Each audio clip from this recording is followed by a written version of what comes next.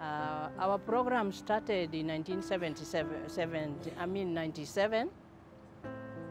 Uh, the reason why we started this program was because uh, professionally I'm a teacher. I had to start this program of teaching the children uh, and taking care of them. So I started uh, just with them under this mango tree because uh, I only had, my house was just in front of here and um, I didn't have any place again. And so the program has gone now uh, for the last 26 years. And uh, the children that we started with uh, are uh, teachers now here, and some of them are working outside.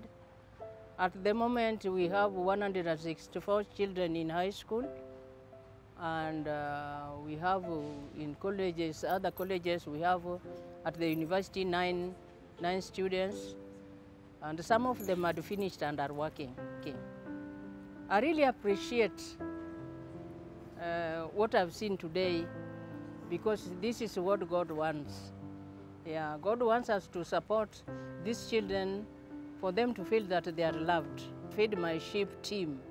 Uh, I sincerely thank you for what you are doing, and I'm seeing you are very young people. And if you continue like this, surely I believe God is really going to put you somewhere because it's better to give than taking. Thank you so much. May God bless you for the good heart. But this is another orphanage home that we are visiting today with a team here again, Feed My Sheep today in Kenya. We are here again uh, coming to deliver some food to this wonderful orphanage and also we are going to share a meal with them and I want to praise the Lord for this opportunity and for this wonderful moment. This is what we love doing most, uh, just having the opportunity, having the chance to feed the children, share a meal with them and also deliver food for them.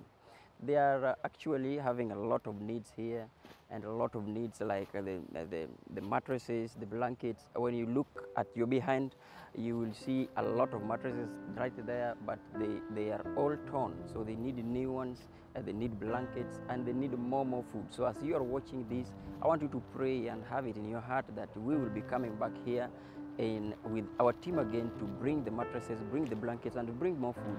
For now, God bless you so much and be you good.